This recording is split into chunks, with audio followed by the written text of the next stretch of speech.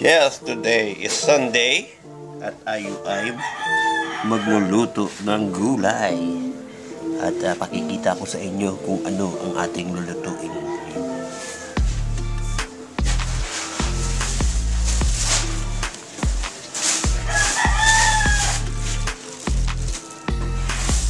Ito ang ating lulutuin ngayon. Okra. Lots of okra. Hmm. Tapos,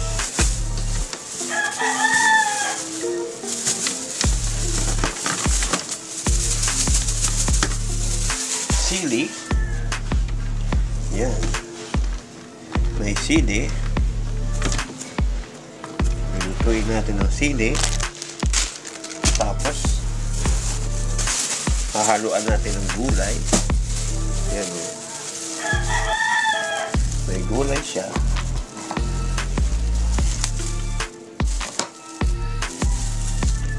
Bawang, sibuyas.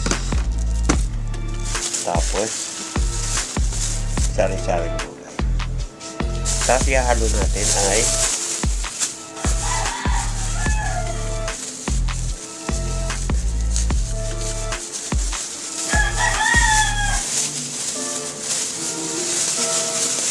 natin ang hipon na sariwa.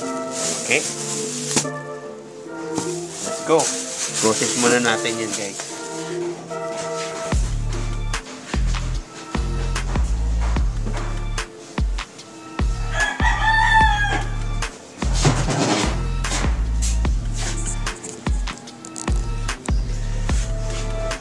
Process muna natin yun guys.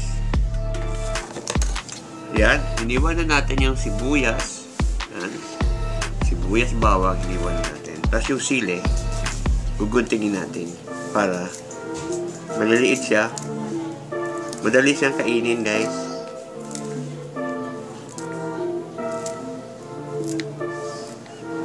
Madali siyang kainin. Uh, hahalo na siya sa gulay. Guguntingin mo lang yan. Ganyan. Thank you.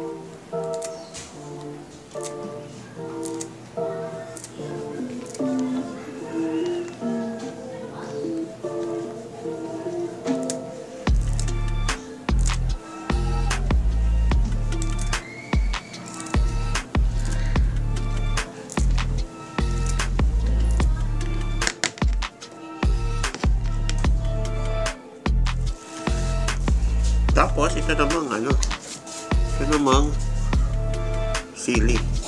Sili na green. Guguntingin mo rin yan. Maliliit. Ganyan.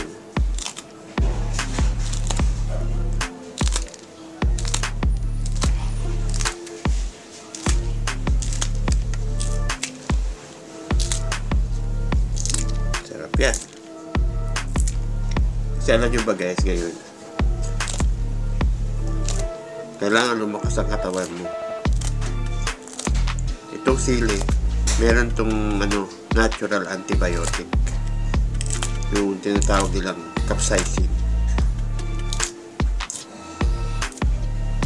Ang capsaicin, maraming ginagamit to sa katawan, ang capsaicin. Lalo na yung mga high blood. Sipon, high blood,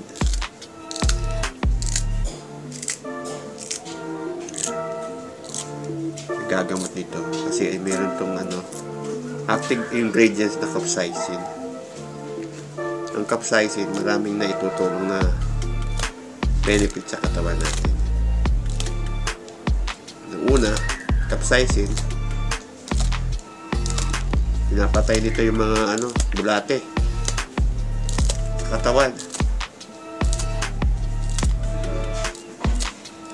Pinapakain rin nga ito sa manok para hindi sila sipunin. Kaya, naluan natin ng sili. Tsaka para maganda ang kulay ng ating kulay. Okay, guys? Okay, guys. Okay, guys. So, magluluto na tayo. Ito ang ating lulutuin ngayon. Ay process na natin. Unang-unang ang star niya, yung gulay na sari-sari. Tapos dinagdagan ko ng okra. Tapos bawang, sibuyas, sili, siling pula, siling green, tapos hipon, tapos lalagyan natin ng panimpla. Okay? Let's start. Let's start to cook now. Okay? Amen. Mga sariwang ano yan si hipon. Okay? So, let's go. Painit tayo ng mantika. Tapos, sigisa natin yung bawang sibuyas. Tapos, sili. Tapos, yung hipon. Wow, look at that. Okay? So, the garlic, the chili, and the onion, oil.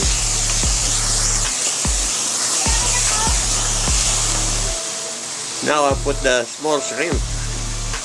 Lagay ko na yung mga sariwang hipon, no, guys. At tatakpan ko yan. Tatakpan ko yan. Okay. And after uh, 10 minutes, uh, we're going to put the vegetable. Now, look, guys. Lagay ko na yung gulay. At magtatakpan ko na yan, guys. Then finish, guys. So yummy. Thank you for watching. Thank you for watching. It's finished.